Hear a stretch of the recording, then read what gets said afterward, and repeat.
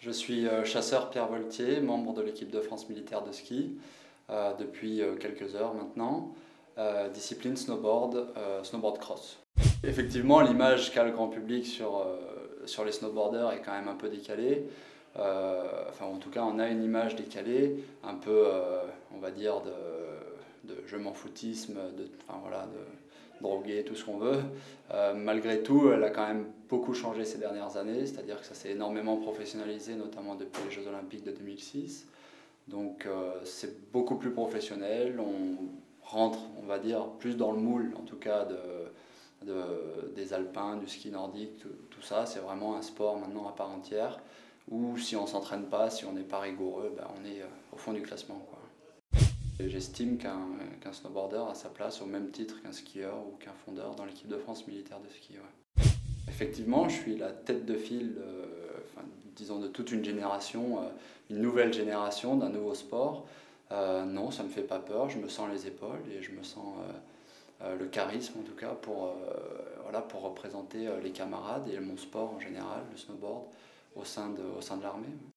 Donc les règles effectivement dans le snowboard cross sont, sont très strictes.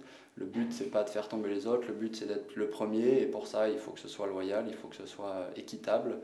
Euh, c'est pour ça que l'état d'esprit au départ il n'est pas d'être combattant, il est d'être le plus rapide.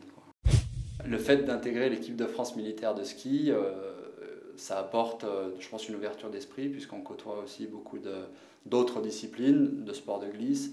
Euh, beaucoup de points communs, mais aussi beaucoup de différences. Et, euh, et à mon avis, c'est quelque chose de très bénéfique dans, voilà, pour un enrichissement personnel, euh, d'appréhender les autres disciplines, comment ça marche, comment ils font, comment ils s'entraînent.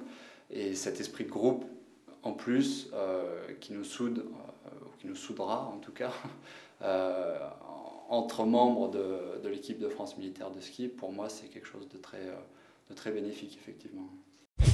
Le fait de défendre encore plus la France, effectivement, très important pour moi, de porter haut les couleurs de la France euh, par l'intermédiaire de l'armée.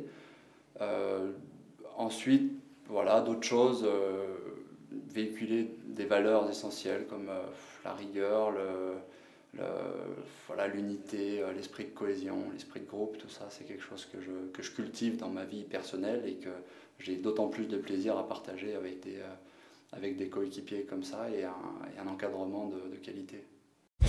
Euh, c'est une saison un peu de transition 2011-2012. Euh, On a simplement le, circuit Coupe du Monde, pas de grosses échéances à la clé, euh, une saison de réglage, une saison d'innovation, tout ça. Voilà. L'essentiel sera le chemin pour arriver au résultat et pas forcément le résultat en lui-même.